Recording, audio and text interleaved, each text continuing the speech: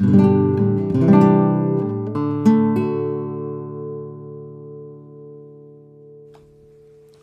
ihr Lieben und herzlich willkommen zum Einschlafen Podcast Episode 444. Ich bin Tobi. Ich lese euch heute Immanuel Kant vor aus der Kritik der reinen Vernunft, weil das so gut zur, zum heutigen Thema passt. Ähm, damit ihr abgelenkt seid von euren eigenen Gedanken und besser einschlafen könnt, überlegt ihr euch schon, was könnte denn das Thema sein, wenn Kant dazu gut zu passt. 444 ist ja eine Schnapszahl. Es geht aber heute nicht um Schnaps, sondern um Brot. Ja, ich habe Brot gebacken. Ich hatte es letztes Mal schon erwähnt auf dem Podstock, diesem Podcaster Treffen, Festival. Ich weiß gar nicht so genau, äh, was da alles so rum eskaliert, aber genau, da habe ich von Claudia, mit Claudia gemeinsam äh, gelernt, also von ihr gelernt und mit ihr gemeinsam äh, Brot gebacken. Das war ziemlich einfach, weil sie immer genau gesagt hat, was wir tun müssen. Wir waren so fünf, sechs Leute, sechs, sieben vielleicht auch eher so. Und ähm, es ging um Sauerteigbrot. Das ist ein Thema, mit dem ich mich schon öfter mal beschäftigt hatte. Zuallererst, glaube ich, als ich im CRE, also Chaos Radio Express ehemals, heute heißt die Sendung nur noch CRE, von Tim Pritlove das Interview mit Lutz Geisler gehört hatte. Das ist schon irgendwie zwei, zweieinhalb Jahre her, die Sendung. Ähm, irgendwann im Jahr 2016 war das, glaube ich. Da hat er ein langes Interview gegeben. Das hatte mich ähm, ziemlich begeistert, mit welcher Hingabe und mit welcher, ja, ich weiß gar nicht, Präzision. Das ist einfach, also mit sehr viel Liebe backt der Lutz Brot. Macht einen Blog, das heißt das Plötz-Blog. Warum auch immer Plötz? Habe ich vergessen, haben sie wahrscheinlich auch erwähnt. Und hat mittlerweile auch mehrere Bücher geschrieben. Ähm, in der Tat hat er sich Anfang dieses Jahres, 2019, genau wie Robert Habeck aus Facebook und Twitter zurückgezogen, was ich eigentlich ganz schade fand. Jetzt, wo ich irgendwie endlich Brot gebacken habe, ähm, hätte ich ihm natürlich gerne irgendwie Fotos zukommen lassen oder irgendwie Aufmerksamkeit auf diesen sozialen Kanälen. Aber anscheinend hat er genau wie Robert Habeck da irgendwie ziemlich viel Stress gehabt auf diesen sozialen Medien und sich deshalb zurückgezogen. Sehr schade. Ich persönlich habe ja irgendwie dieses unfassbare Glück, dass ich nur ganz, ganz selten stressige Leute auf Social Media treffe. Ich bin selber zwar auch nicht mehr so viel auf Facebook unterwegs, wie ich mal war, habe mich da ein bisschen rausgezogen, aber im Wesentlichen, um mich selbst aus dieser Aufmerksamkeitssenke ähm, rauszuholen. Also sehr viel von meiner Aufmerksamkeit ist irgendwie bei Facebook reingegangen. Nicht, nicht, dass es da zu stressig oder zu gemein oder zu, zu blöde war, sondern es war mir einfach zu viel. Deswegen habe ich mich da ein bisschen rausgezogen. Ähm, denn was ich dort am meisten tue, ist ja Einschlafen, Podcast, Community Management. Ansonsten mache ich da, na gut, hatte ich halt immer noch mal ein bisschen was Privates gemacht, aber für die anderen Sachen, die ich mache, das Community Management ist eher wenig. Einschlafen, Podcast ist da schon durchaus die, die größte Baustelle und ihr seid irgendwie alle total nett. irgendwie fällt mir das immer wieder auf, dass von euch eigentlich ja zu 99,99 Prozent äh, positives Feedback kommt. Finde ich total super. Ähm, gibt hier und da mal irgendwie komische Kommentare, aber das ist dann nicht so schlimm. Ähm, genau, deswegen wäre das für mich kein Grund, aus Social Media rauszugehen, nur weil, weil der Ton da schräg werden würde. Wie gesagt, bei mir ist er das wirklich in den aller, aller seltensten Fällen. Gut, zumindest Lutz Geisler hat sich da rausgezogen. Ähm, aber genau, ich habe das dann irgendwie, ich habe mir, als ich damals die Sendung gehört habe, habe ich mir so ein Blech gekauft, in dem man Baguettes backen kann. Ich hatte irgendwie Lust auf Baguettes. Ich weiß gar nicht genau, warum ich Baguette backen wollte. Äh, und das ist so ein Backblech. Sieht aus wie ein Backblech. Also liegt man wohl so drauf auf dem Backblech. Aus Metall, so ein Lochsieb irgendwie. Und ja, hm. ähm, ehrlich gesagt wusste ich auch immer nicht so richtig, was es ist. Mittlerweile habe ich herausgefunden, das ist wohl eher zum Gären der, der Brot, der Teiglinge gedacht. Aber egal. Ähm, wie, wie finde ich jetzt äh, den, den, den Ansatzpunkt? Also mit Claudia habe ich äh, Brot gebacken. Und das war toll, weil es funktioniert hat. Wir haben Sauerteigbrot gebacken. Eine Sache, an die ich mich erst recht nicht rangetraut hatte, weil Sauerteig irgendwie so ein bisschen spooky ist. Ähm, Da hat man dann im Kühlschrank immer so Gläser stehen mit Dingen, die leben und muss sich um die kümmern, muss sich füttern, äh, muss die füttern und so. Sonst werden die komisch. Äh, und die kommen auch irgendwie aus dem Nichts. Naja, ähm, Claudia sagt, das ist alles gar nicht so schlimm, man muss sich das nur einmal trauen. Und sie hatte Sauerteig mitgebracht und auf diesem Workshop haben wir erst den Sauerteig gefüttert, also neuen angesetzt sozusagen.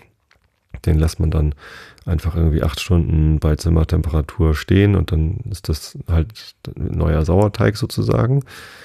Und dann ist, äh, hatte sie auch eben das äh, Buch von Lutz Geisler, das heißt Brotbacken in Perfektion mit Sauerteig. Ah, daher hatte ich den, den Namen, den Begriff Perfektion vorhin. Ich glaube, es geht gar nicht so sehr um, also bei dem, bei dem Interview damals war mir nicht so sehr die Perfektion im, im Vordergrund geblieben, sondern so diese, diese Präzision, diese Hingabe und Liebe zum Detail.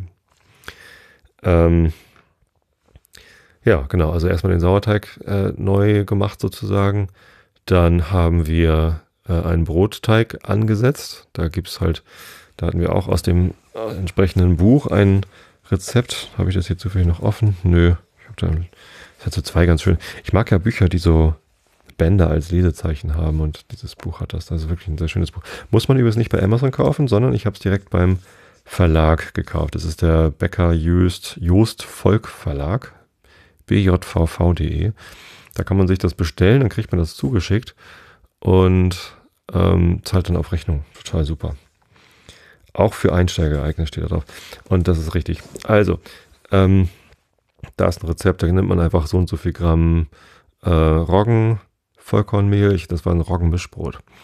Ein bisschen Weizenmehl von irgendeiner bestimmten Nummer und halt von dem Roggensauerteig äh, und Wasser und Salz und fertig. Mischt das durcheinander, macht da irgendwie einen Teig draus, lässt das einen Tag oder zwölf Stunden, glaube ich, irgendwie so stehen in der Schüssel, ein bisschen abgedeckt.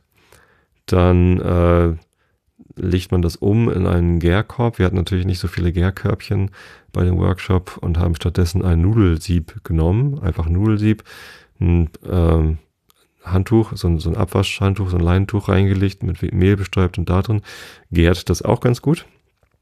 Ähm, zwölf Stunden und dann einfach äh, in einen sehr heißen Backofen.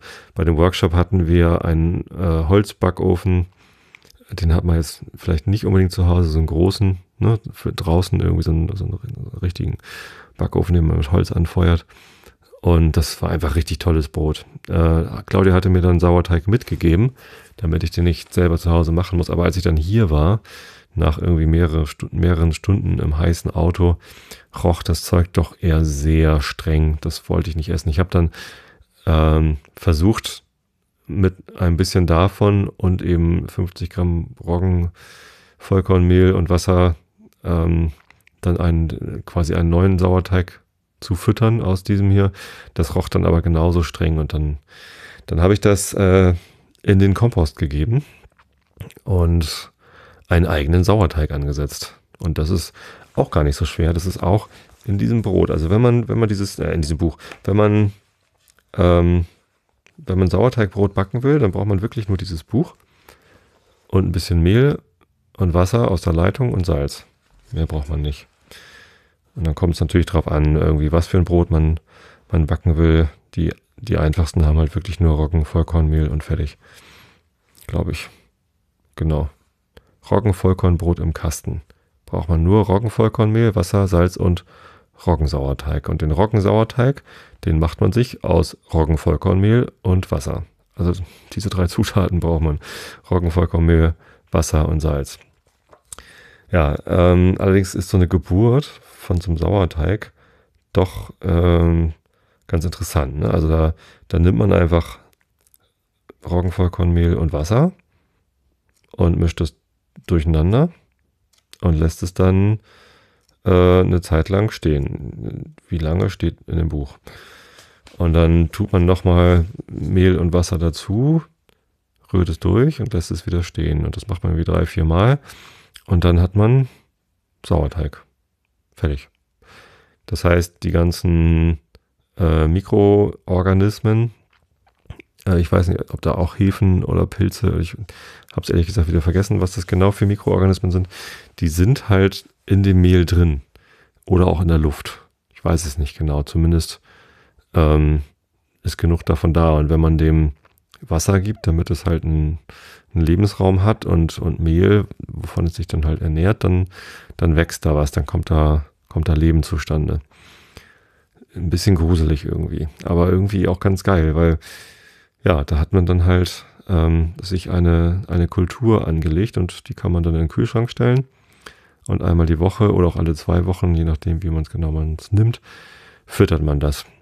Und es hat bei mir auf Anhieb funktioniert. Also so ein Roggensauerteig, das war irgendwie echt einfach. Und der roch dann eben auch gut. Ne? Der Roggensauerteig, den ich irgendwie im Auto transportiert hatte, der roch halt sehr streng. Und dieser hier, das merkt man halt gleich, dass das das Richtige ist, weil es irgendwie, ja, so ein bisschen säuerlich, so feinsäuerlich, aber eben nicht streng riecht. Ganz lecker. Ja, und damit hatte ich dann auch ähm, gleich ein Brot gebacken. Und ich hatte äh, keine Lust auf das Roggen-Mischbrot, was wir auf dem Workshop schon gebacken haben. Stattdessen habe ich ein Roggen-Dinkel. Also wir essen ganz gerne Dinkel. Ich weiß gar nicht genau warum. Ist irgendwie besser verträglich als Weizen. Keine Ahnung. Ist ja auch nur eine Weizenart, der Dinkel. Ähm, da ist eben auch ein, ein Roggen-Dinkel äh, Mischbrot auf der gleichen Seite sogar und das habe ich dann zusammengerührt und ich habe mir noch ein Gärkörbchen gekauft für zu Hause, damit ich nicht das mit dem Nudelsieb machen muss.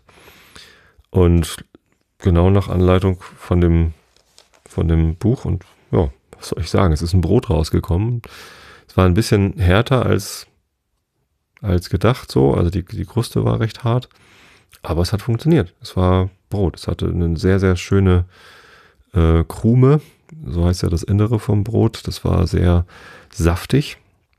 Ähm, das liegt daran, dass da äh, Magerquark mit reingerührt wird in, in dieses Roggendinkel-Mischbrot. Dadurch wird das halt sehr, ja, also feucht. Es hat, hat auch sehr lange sich frisch gehalten und ähm, ist halt sehr saftig. Also ganz, ganz leckeres Brot. Ja, und dann, wenn man irgendwie nur mit diesen paar Zutaten selbst einen Sauerteig gemacht hat und dann auch selbst ein, ein Brot mit diesem Sauerteig gebacken hat, dann ist das irgendwie ganz geil.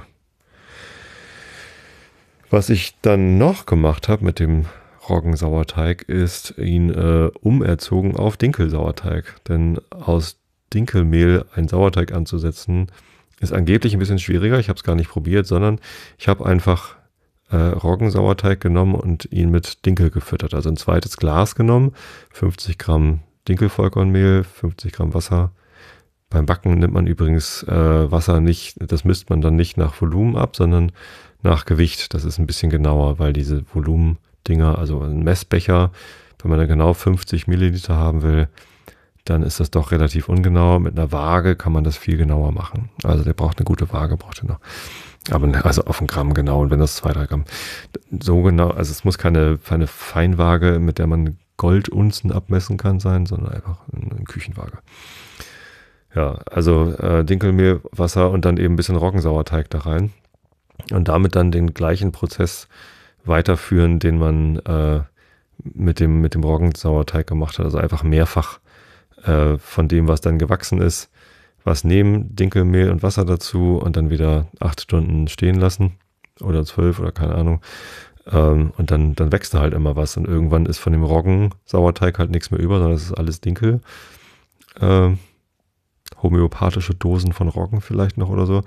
Aber das ist dann ein Dinkelsauerteig. Und mit dem habe ich Brötchen gebacken. Die sind mir nicht ganz so gut gelungen. Also es sind Brötchen geworden, aber sie waren recht flach. Fotos davon kann ich äh, auch mal veröffentlichen. Ja, also Dinkelbrötchen, ähm, da ist ein Rezept in dem Buch, das heißt, ich gucke mal eben nach, ähm, Weizen-Vollkornbrötchen. Und es ist eine Anleitung im Buch, wie man aus Weizenbrot oder Brötchenrezepten ähm, das entsprechende Dinkelrezept umrechnen äh, kann. Und das geht, indem man ein Kochstück, ein Mehlkochstück herstellt. Das, ein bisschen, das klingt auch total kompliziert, ist mir aber auch gleich beim ersten Mal gelungen. Das ist gar nicht so schwierig. Und zwar äh, nimmt man dann Für Brötchen nimmt man 25 Gramm Dinkelmehl, 125 Gramm Wasser und 10 Gramm Salz. Das Salz braucht man ja sowieso für den ähm, für den Dings, äh, für den für den Teig, für den Brötchenteig. Ähm, und ja, macht es warm, also kocht, kocht dabei, also macht es irgendwie heiß. Dann entsteht so eine Art Pudding. Also das, das wird halt so schnittfest dann. Und ähm, das lässt man abkühlen und dann hat man ein, ein Mehlkochstück und das gibt man dann einfach mit in den, äh, in den Brotteig rein. Da kommt dann irgendwie noch, ich habe das gar nicht, ich habe Weizen. Ach nee, da steht Schrotbrötchen, Weizenvollkornbrötchen, genau. Stimmt, da bei den Weizenschrotbrötchen nimmt man schon ein Brühstück. Weizenvollkornbrötchen, da braucht man kein Brühstück oder äh, wie heißt das? Was habe ich gesagt? Äh, Kochstück. Sondern ähm, da habe ich das Kochstück verwendet, weil ich das umgestellt habe auf Weizen. Dann gibt es da so eine Umrechnungstabelle äh, auf Dinkel. Und wenn ich, äh, wenn ich Dinkel nehme statt Weizen, dann habe ich halt dieses, dieses Mehlkochstück mit dabei. Und dann muss man ein bisschen rechnen. Aber so richtig kompliziert ist das auch nicht. Genau. Und dann kommt da ein bisschen Honig mit rein. Und dann hat man Dinkelvollkornbrötchen nach einem Weizenvollkornbrötchen Rezept. So, das hat auch funktioniert. Der Teig ist aufgegangen. Den muss man dann noch so dehnen und falten. Da gibt es Videoanleitungen vom äh, Lutz Geißler auf, auf YouTube, wie das geht. Aber letztendlich zieht man den Teig so ein bisschen in die Länge, schlägt ihn dann äh, so von links und rechts jeweils ein Drittel zusammen und macht das dann nochmal in die andere Richtung.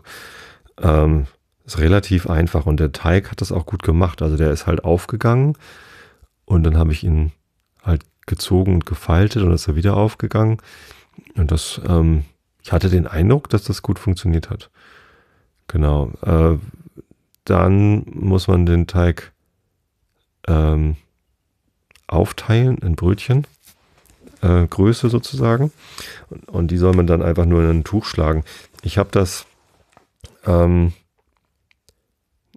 halt die Hälfte der Teiglinge in, in diese ähm, Anfang eingangs erwähnte, ähm, wie heißt das? Croissant, nee, nicht Croissant, Baguette-Form, genau. Einfach da so reingelegt, weil das ist ja auch zum Gern geeignet, deswegen hat das ja diese Löcher. Ne, einfach da irgendwie ein bemehltes Tuch reingelegt, dann das, äh, die Dinger da rein. Da war der Teig allerdings ein bisschen klebrig. Vielleicht lag es auch daran, da habe ich ein bisschen viel dran rumgezergelt an dem Teig, weil der halt so klebrig war. Und dann sind die Teiglinge nicht mehr so besonders groß geworden irgendwie. Und als ich sie dann halt aus Blech getan habe zum Backen, waren sie halt vergleichsweise flach. Also nicht so hoch, wie man sich ein Brötchen wünscht. Und beim Backen sind sie dann auch nicht mehr hochgekommen. Das heißt, am Ende hatte ich Brötchen. Ich konnte sie aufschneiden. Allerdings waren sie insgesamt nur so anderthalb, zwei Zentimeter dick. Das heißt, die Brötchenhälften waren, waren relativ dünn. Aber sie haben geschmeckt und es waren Brötchen. Das heißt, auch da war die Krume ziemlich lecker. Also da, die war halt recht fein, porig, die hatten keine großen Löcher, wie man das so von, von Hefebrötchen kennt. Ähm, manchmal kriegt man ja beim Bäcker ein Brötchen, wo in der Mitte so ein Riesenloch drin ist. Äh, weiß ich gar nicht, ob das dann überhaupt äh, Sauerteigbrötchen sein können. Ich glaube, so beim Bäcker kriegt man eher so Hefebrötchen, oder? Ich weiß das gar nicht. Habe ich nie gefragt beim Bäcker, ob die Brötchen, so, so ein normales Brötchen, äh, eine Schrippe oder wie auch immer man das nennt. Da gibt es ja sehr, sehr viele regionale Bezeichnungen für, wir hier in Norddeutschland sagen Brötchen, normales Brötchen. Ähm, woanders sagt man Rundlink, äh, keine Ahnung, da gibt es 20, 30 verschiedene Bezeichnungen für. Äh, genau, die sind ja recht hoch und da sind manchmal so Riesenlöcher drin, sodass man das Gefühl hat, man hat eigentlich nur Kruste und keine Krume. Ähm, meine Dinkel-Vollkornbrötchen hatten durchaus eine, eine Krume, die, die feinporig war. Vielleicht ein bisschen feiner porig als auf dem Bild vom Lutz Geißler von dem Buch. Aber das war lecker. Also ich hätte sie mir ein bisschen dicker gewünscht. Da bin ich mir jetzt nicht ganz sicher, wie ich das geschafft hätte, da die Luft besser drin zu halten oder das, das Format irgendwie besser hinzukriegen. Ähm, also ein bisschen formen muss man das ja, aber man darf die Luft nicht rausdrücken glaube, ich muss es einfach noch ein paar Mal üben. Das waren jetzt meine ersten Brötchen. Ähm, ich bin froh, dass es funktioniert hat. Also das ist ja quasi dann jetzt auch der Beweis, dass die dass der Dinkelsauerteig auch funktioniert. Ähm, ja, ich muss einfach häufiger backen. Es klingt ziemlich aufwendig alles, wenn man das so hört. Ne? Sauerteig machen, da muss man irgendwie alle acht Stunden was machen. Und tatsächlich muss man sich einen guten Zeitplan zurechtlegen. Man muss sich gut überlegen, wann möchte ich denn frisch gebackenes Brot haben. Ne? Man muss daran denken, dass es auch noch ein bisschen auskühlen muss. Ähm, und dann kommt es so ein bisschen auf die Zeitplanung an. Zum Beispiel bei den Dinkel-Vollkornbrötchen, die wollte ich halt am Morgen backen. Dann bin ich tatsächlich wie so ein, wie so ein echter Bäcker, habe ich mir dann den, den Wecker besonders früh gestellt. Na gut, das war 5 Uhr morgens, habe ich mir die dann gestellt, ähm, damit ich dann, wie war denn das? Die mussten noch eine Stunde, äh, genau, eine Stunde in ein bemehltes Tuch sollten sie noch. Und ähm, ich wollte gerne um halb sieben, wollte ich gerne Brötchen essen und die müssen insgesamt nur so 20 Minuten backen. Also bin ich um 5 Uhr aufgestanden, habe die äh, Teiglinge geformt. Vielleicht sind sie auch deshalb nichts geworden. Ich war einfach zu müde. Habe sie dann eben in, in das bemehlte Tuch gesetzt. Habe mich wieder hingelegt. Also das Ganze hat so 10 Minuten gedauert. Äh, und sie dann halt um 6 Uhr in den Ofen geschoben. Ähm, der Ofen muss vorgeheizt sein auf 250 Grad. Ich muss noch mal rausfinden, wie ich bei meinem Ofen das so einstelle, dass er zu einer bestimmten Uhrzeit anspringt und dann heizt. Ähm, das geht bei meinem Ofen. Ich habe bloß, äh, der hat halt bloß so eine sehr krude Bedienung. Da muss ich mal rausfinden, welche Knöpfe das sind. Aber das wäre nochmal ganz praktisch gewesen. Das wusste ich nicht. Deswegen bin ich tatsächlich äh, um halb sechs nochmal aufgestanden, nach 20 Minuten ruhen. Ich bin, glaube ich, gar nicht richtig eingeschlafen, um den Ofen anzumachen, damit er dann auch ordentlich vorgeheizt ist. Äh, beim Brötchen reintun, dann das runterstellen, nicht vergessen. Genau. Ähm, so, das heißt, ich habe ähm, am Tag vorher, ne, also der Teig braucht 24 Stunden und ähm, am Tag vorher um normalerweise, wir stehen halt immer um 6 Uhr auf ähm, unter der Woche, bin ich halt einfach um 6 Uhr aufgestanden, habe den Teig eben angerührt mit, was brauchte ich? Ich brauchte das Kochstück, ich brauchte ein bisschen Weizenmehl, äh, Dinkel, Vollkornmehl, äh, ein bisschen Wasser, Salz war ja schon im Kochstück drin, bisschen Öl, einfach, äh, da habe ich einfach Sonnenblumenöl genommen, bisschen Honig und halt den, den Weizensauerteig gut durchrühren und ähm, in der Schale dann ein bisschen abdecken und gehen lassen. Bevor ich dann zur Arbeit gefahren bin, um acht, habe ich den Teig dann noch einmal gedehnt und gefaltet, gefalten, gefaltet. Und ähm, das war's dann. Also der, der Aufwand am Tag vorher, also am Dienstag, habe ich ähm, den Teig angerührt. Das dauert zehn Minuten. Dann habe ich ihn einmal gedehnt und gefaltet und, und dann wieder reingetan. Das dauert nochmal fünf Minuten. Und dann habe ich, als ich von der Arbeit gekommen bin, nochmal gedehnt und gefaltet. Und dann, ähm, als ich ins Bett gegangen bin, habe ich das nochmal gemacht. Das dauert halt jeweils so, weiß nicht, drei, vier Minuten. Das geht ganz schnell. Ähm, und dann am nächsten Morgen musste ich halt früh aufstehen und ein paar Sachen machen. Aber insgesamt, also Netto-Arbeitszeit ist sehr wenig. Also wenn man den, den Sauerteig im Kühlschrank da schon stehen hat, dann ist das Teig ansetzen irgendwie zehn Minuten. Zwischendurch hat man noch so kurze Maintenance-Einsätze. Und ähm, dann kommt das in den Ofen und es also es ist wirklich nicht viel Zeit, die man da netto reinsteckt. Zusammengerechnet vielleicht irgendwie 40 Minuten oder so. Das ist aber halt leider irgendwie auf 24 Stunden verteilt. Deswegen muss man sich einen, einen guten Zeitplan machen, wann man das denn tun kann. Also wann man denn die einzelnen Arbeitsschritte tun kann. Und das macht man einfach, indem man sich überlegt, wann möchte ich denn das frisch gebackene Brot oder die frisch, frisch gebackenen Brötchen haben. Und dann rechnet man sich das einfach ähm, zurück, wann man denn welche Arbeitsschritte machen muss. Dann muss man sich überlegen, kann ich die dann denn machen, bin ich dann zu Hause? Und wenn nicht, dann muss man sich den Zeitplan vielleicht noch ein bisschen zurechtruckeln. Ja. Ähm, ich habe jetzt zwei Gläser im Kühlschrank stehen. Da auf dem einen steht Dinkel-Sauerteig, auf dem anderen steht Roggensauerteig. Und mit den beiden, also die leben da jetzt so vor sich hin. Äh, wenn ich kein Brot backe, muss ich halt irgendwie alle ein, zwei Wochen äh, ein bisschen was davon nehmen, mit 50 Gramm neuen Mehl und 50 Gramm Wasser vermischen acht Stunden bei Zimmertemperatur stehen lassen und dann wieder in den Kühlschrank stellen bin fertig. Das ist auch nicht viel Maintenance-Aufwand. Ähm, muss halt gucken, äh, wo passen diese acht Stunden rein. Typischerweise passt das ganz gut so in den Schlafrhythmus. Also ja, werde ich heute Abend noch wieder machen müssen. Und ähm, damit bin ich jetzt eigentlich immer gut vorbereitet, Brot zu backen. Und ich kann euch das nur empfehlen. Also das ist, man kann sich in viele Sachen rein nörden. Ne? Ich kenne Leute, die, die brauen ihr eigenes Bier. Das ist, glaube ich, total cool. Ähm, aber deutlich mehr Aufwand als Brotbacken. Es ist ja sehr ähnlich. Also auch da hat man irgendwie ähm, Malz, ist ja ein Erzeugnis aus Getreide. Und ähm, dann braucht man aber für Bier noch Hopfen dazu. Ansonsten ist es ja auch nur Malz, also Getreideprodukt äh, und Wasser. Salz kommt da, glaube ich, nicht ran. So, und dann eben, dann kommt da noch Hopfen. Und das ist auch so, dass man immer so Arbeitsschritte hat, dauern ein bisschen und dann äh, braucht man halt Zeit und muss irgendwie warten, bevor man den nächsten Arbeitsschritt macht. Aber ich glaube, beim Bierbrauen das habe ich mir auch schon öfter mal angeguckt, weil ich ja gerne Bier trinke und irgendwie auch gerne abgefahrenes Bier trinke. Das ist halt deutlich schwieriger, da ein Ergebnis hinzukriegen, was auch wirklich toll ist, ähm, als bei Brot. Ich glaube, ein gutes Brot zu backen ist sehr, sehr einfach im Vergleich zu einem guten Bier zu brauen. Und deswegen äh, muss man sich bei Brot auch gar nicht so rein nörden, sondern ich finde, Brotbacken ist wahrscheinlich sowas wie, wie Zähneputzen. Das kann man einfach, also das ist halt irgendwie so Alltag und das kann man einfach machen. Und, Weit und, und Sauerteigbrot klingt zwar irgendwie total abgefahren, weil man irgendwie so, so Lebewesen im Kühlschrank pflegt, aber äh, ist es eigentlich halt auch nicht. Also da muss man eigentlich auch nicht so Angst vor oder Respekt vor haben. Und da muss man sich auch nicht so sehr rein nerden. Also es ist auch nicht so, dass man da irgendwie super.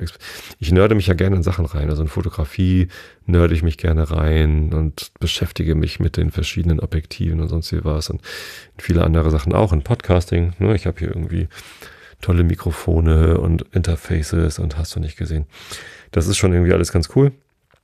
Äh, aber brauchen, ähm, das, dann, ja genau, tut man das da auch nicht. Man, man kann auch mit deutlich geringeren Mitteln einen, einen Podcast produzieren, als ich das mache. Es gibt zum Beispiel ähm, auf Phonic, das ist ja die Audio-Nachbearbeitung, die ich auch benutze. Die haben eine App für iOS und Android.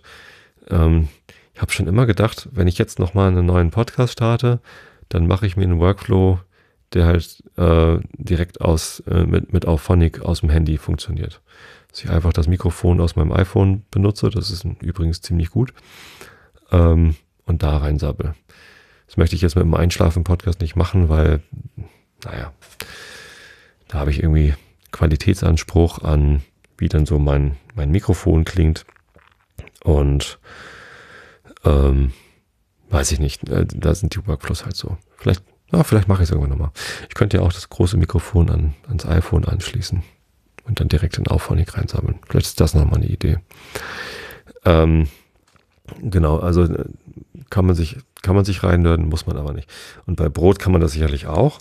Ähm, dieses Buch, was ich jetzt schon, also ich mache gerade Werbung für dieses Buch, aber das mache ich total gerne, weil es für mich ein total wertvolles Buch ist. Es hat mir also die Anleitung, wie ich mir den, also Claudia hat mir die Angst genommen vor, vor Sauerteig und Backen und wir haben das erst, mein erstes Brot zusammen gebacken, das war richtig toll. Und sie hatte auch das Buch dabei und mir das empfohlen oder uns das empfohlen und ich habe mir das dann gleich gekauft. Und mit dem Buch konnte ich jetzt halt meine ersten Ergebnisse erzielen. Das ist toll. Und ähm, da sind halt noch Sachen drin, die ich ausprobieren will, vor denen ich durchaus noch Respekt habe. Zum Beispiel Franzbrötchen. Wer noch nie in Hamburg war, weiß wahrscheinlich nicht, was ein Franzbrötchen ist. Aber es ist so ein relativ flach. Ah, das ist doch geil. Es muss gar nicht hoch. genau. Äh, das kriege ich bestimmt leicht hin. Also Franzbrötchen ist ein sehr süßes Brötchen äh, mit Zimt und sehr klebrig. Also Butter und Zimt spielen da eine wichtige Rolle. Und in dem, in dem Buch von Lutz Geisler ist eben auch ein Franzbrötchenrezept mit Weizensauerteig. Ich weiß noch nicht, ob ich das umstellen will auf, auf Dinkel. Falls das schon mal jemand gemacht hat, kann das mir vielleicht erzählen, wie, wie gut das ist. Ähm, und Croissants sind auch drin. So. Vielleicht, mache ich, brauch, vielleicht brauche ich noch einen Weizensauerteig, um auch mal mit Weizen backen zu können. Ich glaube, Croissants will man nicht. Will man Dinkel-Croissants? Ich weiß es nicht. Könnte ich vielleicht erst probieren. Genau, und, und das ist bestimmt nochmal ein bisschen nerdig, da irgendwie in, in solche Sachen reinzukommen. Und Kuchen sind da auch, so Brioche und Panettone. Das sind, glaube ich, mehr so Kuchenrezepte als ähm, Milchbrötchen sind da auch drin. Oh, wie geil. Also da sind noch viele Brotsorten drin, ähm, die, ich, äh, die ich irgendwann mal ausprobieren werde. Ja und wo man sich bestimmt auch reinlernen kann. Aber dieses, dieses Roggen-Dinkel-Mischbrot ähm, mit dem Quark drin, das wird ganz sicher äh, so ein Standardbrot, was ich halt immer mal wieder backe. Roggenmischbrot mit Dinkel heißt es. Seite 73. Ja. Genau, so viel zum Thema Brotbacken. Ähm, probiert es aus. Es ist mir auf Anhieb gelungen. Das heißt, es kann nicht schwer sein. Und irgendwie ist es geil, so ein selbstgebackenes Brot zu haben. Ihr braucht einen Backofen. Genau. Ein Backofen ist hilfreich, wenn man Brot backen will. Und der muss auch möglichst auf 230 Grad gehen. Also man heizt ihn vor auf 250 Grad und dann backt man auf 230 Grad. Irgendwie war das bisher bei allen Broten so, die ich gebacken habe. Ich glaube, das ist so ein Standard. Ja, steht hier überall. Genau. Ja, viel Spaß beim Brotbacken. Kommen wir zum Herrn Kant. Warum passt das zum Thema? Äh, weil der Kanten vom Brot hat ja auch so viele Namen. Bei uns heißt er Knust. Wie heißt eigentlich der kan Brotkanten bei euch. Also bei uns heißt er Knust. Es gibt auch einen, einen Veranstaltungsraum in Hamburg, der Knust heißt. Im Knust sind immer coole Konzerte. Ja, kommen wir zum Herrn Kant, wollte ich sagen. Ähm, wir sind in der Kritik der reinen Vernunft auf Seite B 670. Guck mal, wie lang das Kapitel ist. Das ist aber lang. Ich muss irgendwo, muss irgendwo in der Mitte von. Oh Gott, das ist ein sehr langer Anhang. Ähm, bis da vielleicht oder so. Ähm, das ist der Anhang zur transzendentalen Dialektik von dem regulativen Gebrauch der Ideen der reinen Vernunft. Augen zu und zugehört.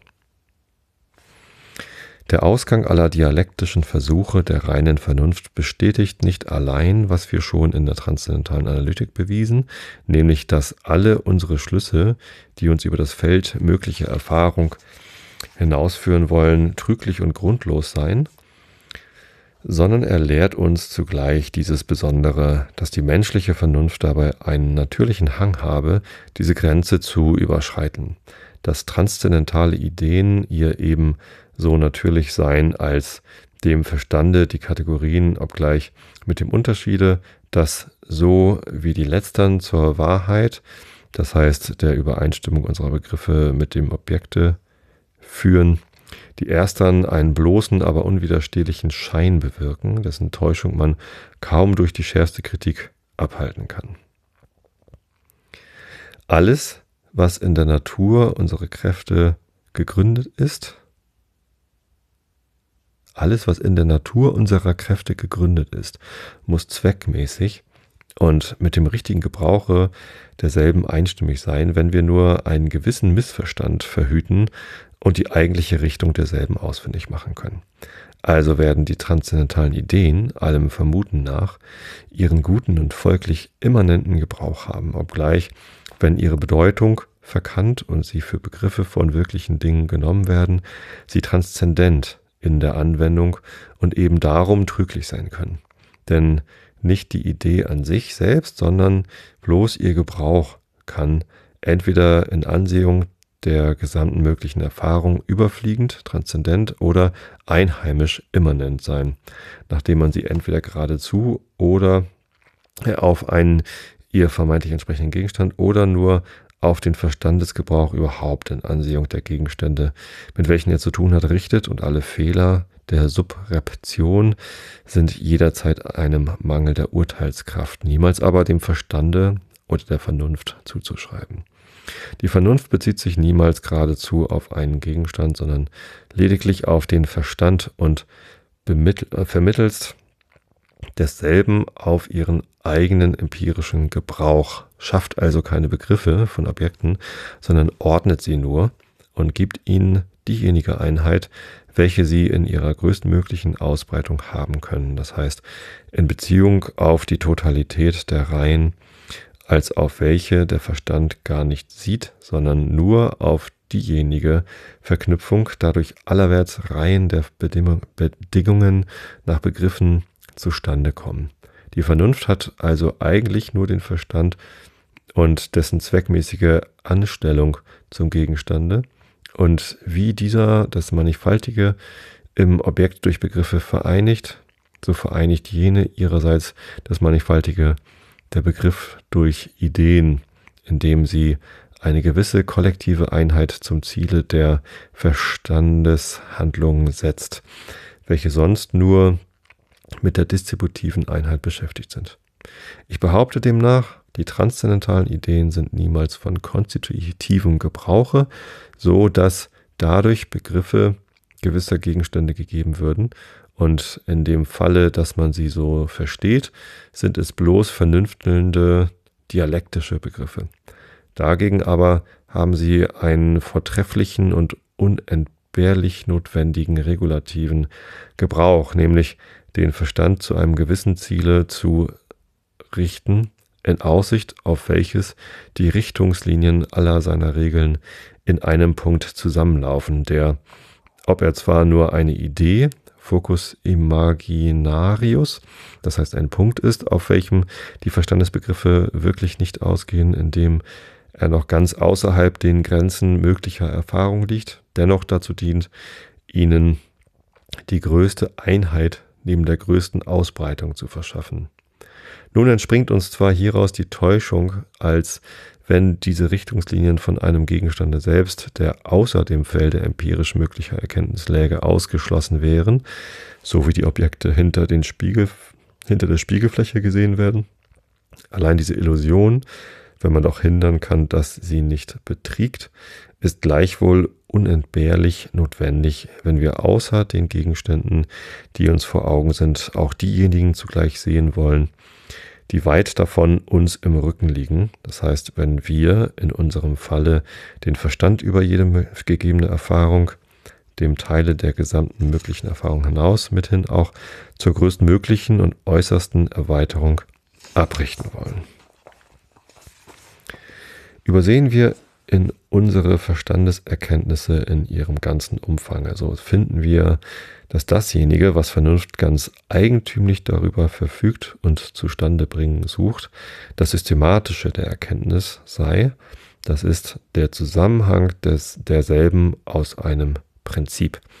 Diese Vernunfteinheit setzt jederzeit eine Idee voraus, nämlich die von der Form eines Ganzen der Erkenntnis, welches vor der bestimmten Erkenntnis der Teile vorhergeht und die Bedingung enthält, jedem Teile seine Stelle und Verhältnis zu den übrigen a priori zu bestimmen. Diese Idee postuliert demnach vollständige Einheit der Verstandeserkenntnis, wodurch diese nicht bloß ein zufälliges Aggregat, sondern ein nach notwendigen Gesetzen zusammenhängendes System wird.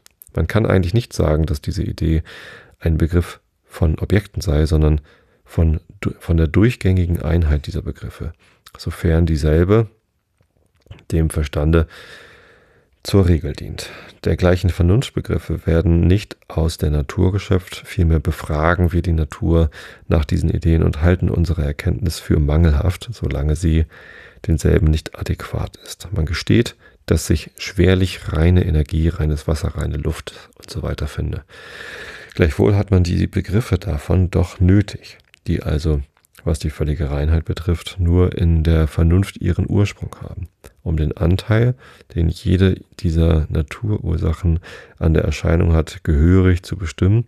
Und so bringt man alle Materien auf der Erde, gleichsam die bloße Last, Salze und brennliche Wesen als die Kraft, endlich auf Wasser und Luft als Vehikel, gleichsam Maschinen, vermittels deren die vorherigen wirken, um nach der Idee eines Mechanismus die chemischen Wirkungen der Materie untereinander zu erklären. Denn wiewohl man sich nicht wirklich so ausdrückt, so ist doch ein solcher Einfluss der Vernunft auf die Einteilung der Naturforscher sehr leicht zu entdecken.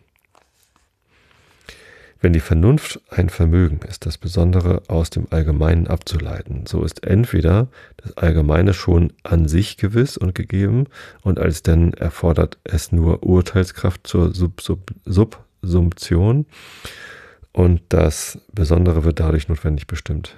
Dieses will ich den apodiktischen Gebrauch der Vernunft nennen. Oder das Allgemeine wird nur problematisch angenommen und ist eine bloße Idee. Das Besondere ist gewiss, aber die Allgemeinheit der Regel zu dieser Folge ist noch ein Problem. So werden mehrere besondere Fälle, die insgesamt gewiss sind, an der Regel versucht, ob sie daraus fließen. Und in diesem Falle, wenn es den Anschein hat, dass alle anzugebende besondere Fälle daraus abfolgen, wird auf die Allgemeinheit der Regel, aus dieser aber nachher auf alle Fälle, die auch an sich nicht gegeben sind, geschlossen. Diesen will ich den hypothetischen Gebrauch der Vernunft nennen. Der hypothetische Gebrauch der Vernunft aus zum Grunde gelegten Ideen als problematischer Begriff ist eigentlich nicht konstitutiv, nämlich nicht so beschaffen, dass dadurch wenn man nach aller Strenge urteilen will, die Wahrheit der allgemeinen Regel, die als Hypothese angenommen worden, folge. Denn wie will man alle mögliche Folgen wissen, die, indem sie aus demselben angenommen äh, Grundsatze folgen, seine Allgemeinheit beweisen, sondern er ist nur regulativ, um dadurch, soweit es als möglich ist, Einheit in die besonderen Erkenntnisse zu bringen und die Regel dadurch der Allgemeinheit zu nähern. Der hypothetische Vernunftgebrauch geht also auf die systematische Einheit der Verstandeserkenntnisse, diese aber ist der Probierstein der Wahrheit der Regeln. Umgekehrt ist die systematische Einheit als bloße Idee lediglich nur projektierte Einheit, die man an sich nicht als gegeben, sondern nur als Problem ansehen muss, welche aber dazu dient, zu dem mannigfaltigen und besonderen Verstandesgebrauch ein Prinzipium zu finden und diesen dadurch aber äh, auch über die Fälle, die nicht gegeben sind, zu leiten und zusammenhängend zu, zu, zu machen. Ja.